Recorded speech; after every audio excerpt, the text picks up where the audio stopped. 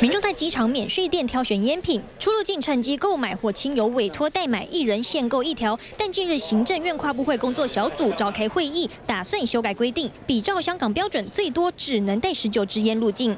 从过去一条烟两百支大幅缩水到十九支，连一包的数量都不到。买十九支啊？那那那干脆戒烟算了。当然是不合理啊，因为现在健康捐又抽又抽的那么高，然后啊，然后又不许人家出国去带免税的香烟回来，所以我是觉得有点太严苛了。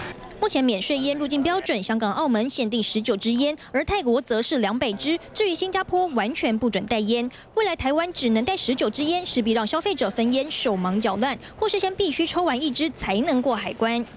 在那边做生意啊，店关公嘛，真的啊，店租那么贵，怎么卖？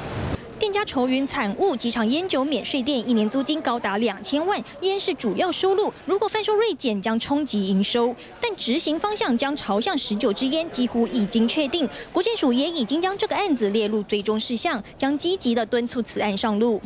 记者黄祖华、李义璇桃园报道。